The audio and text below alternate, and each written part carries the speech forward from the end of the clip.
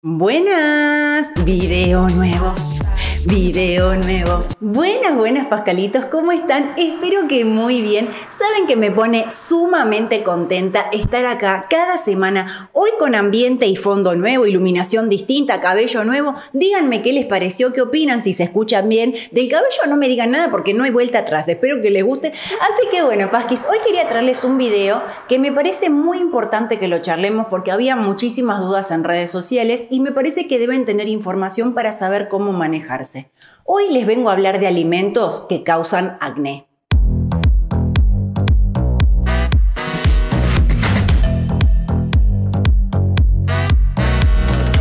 Antes, Pasquis, no se olviden de suscribirse a mi canal y darle like. Gracias por todos los pascalitos que somos. Estoy muy contenta de cómo está creciendo esta hermosa comunidad. Activen campanita, denle like, comenten, así no se pierden ningún video cada semana. Miren que estoy acá firme todas las semanas para traerles nuevos videos para ustedes. No se olviden también de seguirme en mis otras redes sociales, TikTok e Instagram. Pasquis, quería que hablemos de este video porque hay mucha información en redes sociales, muchas veces van a una consulta, se quedan con dudas, ustedes me dicen, ¿debo dejar realmente de consumir estos alimentos? ¿Es verdad que hay alimentos que causan acné? Si empiezo a hacer esta dieta, entonces, ¿mi acné se cura para siempre? Ustedes me dicen que se sienten muy mal porque muchas veces en alguna reunión familiar no falta el que les diga, vos no podés comer tal cosa. ¿Sabés por qué tenés tanto acné? Seguramente es porque estás consumiendo estos alimentos.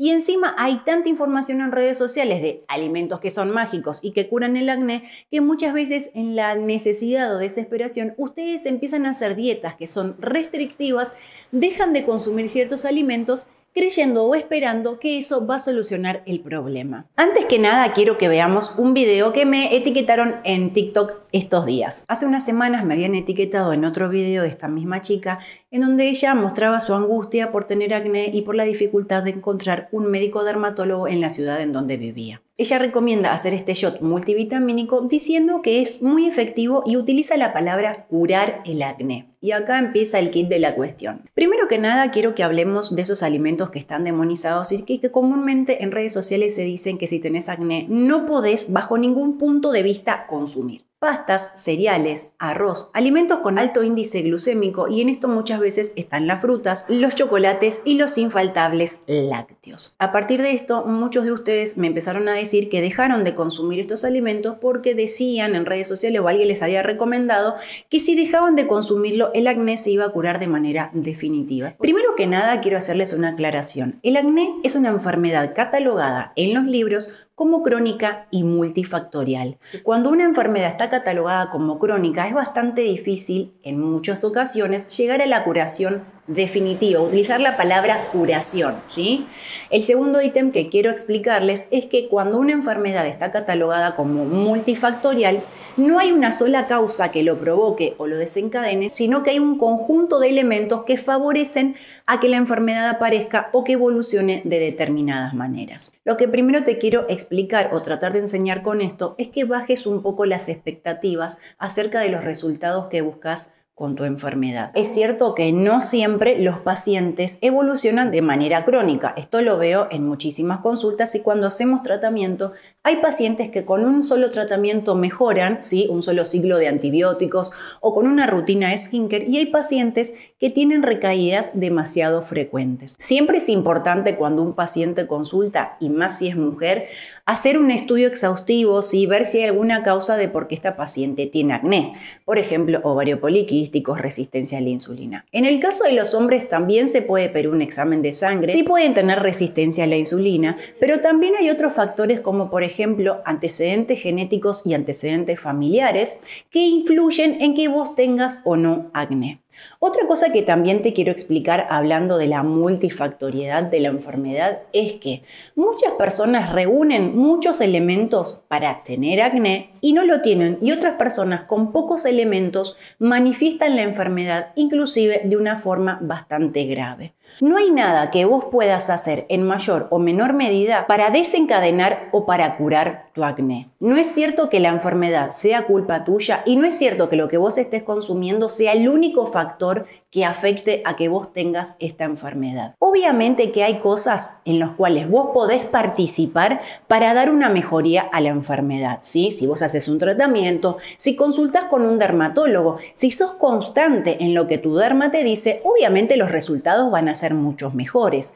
Pero no porque un día te olvidaras de hacer tu rutina de skincare, porque un día te comas un brownie, porque un día te tomes un vaso de leche, estás condenado a que la enfermedad evolucione mal o que inclusive te aparezca un rebrote de granos como hacía mucho tiempo no tenías. Así que por favor deja de sentirte culpable porque las enfermedades suceden y no son para nada la culpa de uno. Ahora bien, ya que hablamos de estas dos cosas, para que te quedes tranquilo, hice una reflexión hace unos días acerca de otro video muy similar a este, sobre que en una época hablábamos muchísimo de las dietas restrictivas y cómo está mal opinar del cuerpo ajeno, creo que eso lo entendimos o en algún punto es lo que quiero creer y lo estamos trasladando a la piel de los pacientes. Creemos o nos creemos con el derecho de poder comentarle a los demás, tu problema es hormonal, tu problema es porque vos no comes tales alimentos, seguramente debe ser una persona muy poco saludable. Y encasillamos a esa persona que ya está padeciendo una enfermedad y que probablemente la está pasando bastante mal, a echarle la culpa como si hubiese algo que pudiera hacer y no quisiera para estar mejor.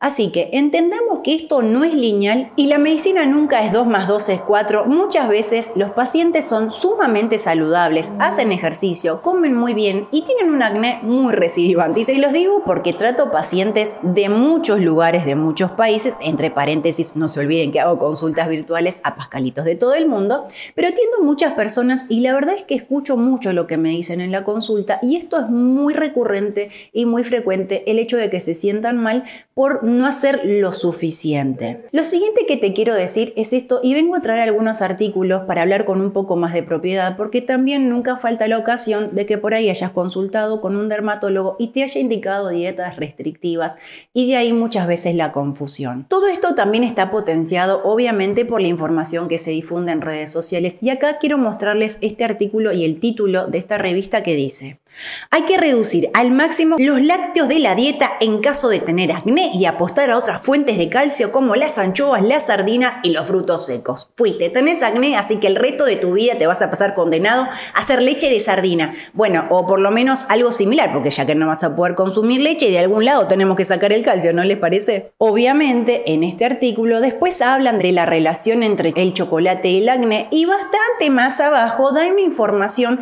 que es un poco más certera y más en contexto y nos dice que la alimentación no es el único factor a tener en cuenta, sino también algunas alteraciones como consumo de otros medicamentos, infecciones, trastornos hormonales, el estrés y la ansiedad. Ahí estamos un poco jorobados, porque hoy en día, ¿quién no tiene estrés y ansiedad? ¿No es cierto? Me pareció interesante porque en esta revista ponen, sí, ahí medio escondido, algunos artículos científicos que son muy importantes a tener en cuenta y muchos de ellos son metaanálisis. El primer artículo es sobre una publicación chilena que se hizo en el 2020 sobre la relación del acné y los alimentos en esta publicación se evaluó un estudio en el que se habían evaluado 1.500 pacientes. Lo primero que nos dicen es que si bien algunos pacientes se observó que tenían una relación positiva, o sea mala, entre el consumo de lácteos, asimismo lo que nos dicen en este estudio es que la información proporcionada es un poco floja de papeles, por así decirlo, porque los cuestionarios utilizados para evaluar el consumo de lácteos era distinto en cada caso, con lo cual la información no podía ser tomada de la misma manera. Y quiero que presten atención a este párrafo. Hasta la fecha no hay ningún estudio aleatorizado de alta calidad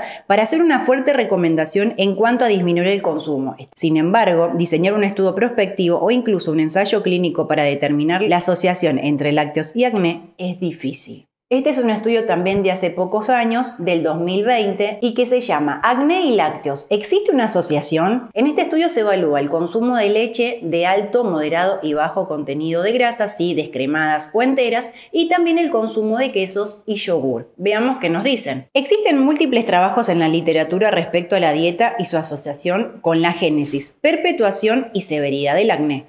En su mayoría con resultados contradictorios y poco significativos. Estamos hablando de estudios del 2020 y el estudio anterior que les había dicho que era un metaanálisis evalúa todos los casos reportados del 2009 al 2020. Así que tenemos bastante evidencia científica de que al momento no se deben recomendar dietas restrictivas. Listo, Dani, aguante todo, entonces me como lo que venga. Pará, loco, no seas tan literal que en la vida no se puede.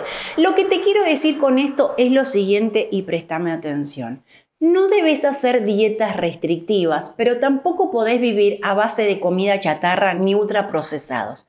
Debes usar el sentido común. ¿Por qué? Porque tu cuerpo es un todo, no es solamente la piel. Y quizás hoy sea joven, tengas 20 años, tengas menos o tengas más, necesitas darle alimentos que sean ricos en nutrientes para que tu cuerpo funcione bien y si debe trabajar o tratar alguna enfermedad, tenga las herramientas suficientes para que te puedas mejorar lo más rápido posible. Siempre pongo el mismo ejemplo y me parece que es bastante gráfico. Supongamos que vos todos los días haces cuatro comidas en una semana tendrías alrededor de entre 28 a 30 comidas. Si yo te empiezo a interrogar y vos lo único que consumís es papa, leches enteras y chocolates, obviamente te diría, mira, no es que tenés que limitar el consumo de esto, pero trata de tener una dieta un poco más variada. Si todos los días merendás facturas, panificados y cosas que quizás tienen un bajo aporte de nutrientes, te diría, mira, trata de modificar por otras harinas que tengan avena, que sean integrales, que te aporten más cosas, no solamente para tu piel, sino para tu organismo en general.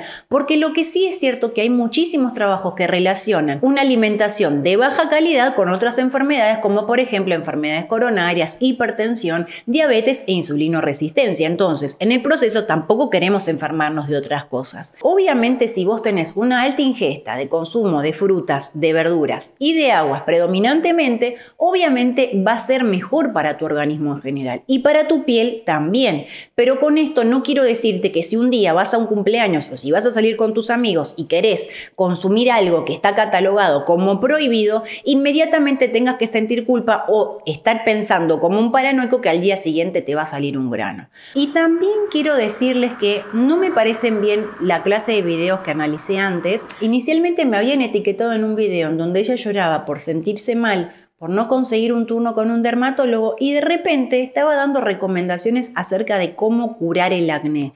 Utilizar la palabra curar es algo bastante serio y muy importante para el paciente. Primero que como médico nadie debería recomendar ni siquiera prometer curaciones porque eso es antiético y hasta ilegal. Entonces, con las enfermedades, aunque no seas médico, sería bueno que tampoco lo hagas porque estás creando una falsa expectativa en una persona que no conoces y que muy probablemente eso no le vaya a funcionar. Invito a todos que seamos un poco más responsables con lo que comunicamos porque hay gente que realmente la pasa muy mal e inclusive tiene depresión asociadas a estas enfermedades. Lo que sí te invito es hacer una consulta con tu derma, encontrar un profesional que, con el cual te sientas cómodo para contarle tus experiencias, para contarle tus dudas, para contarle tus preocupaciones y empezar a tratar, a transitar esta enfermedad que no siempre se cura rápidamente, pero que sí en la mayoría de los casos se puede encontrar una solución.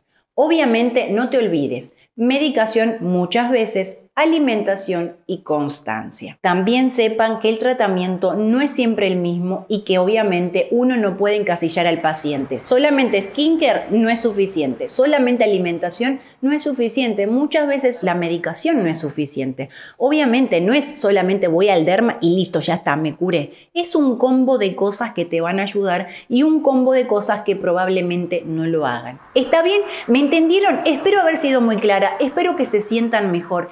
Espero que se sientan acompañados. Los entiendo un montón porque veo muchísimos pacientes con acné y sé que no es fácil, pero les puedo asegurar algo, no es imposible. Así que bueno, les mando un beso muy grande y nos vemos la próxima.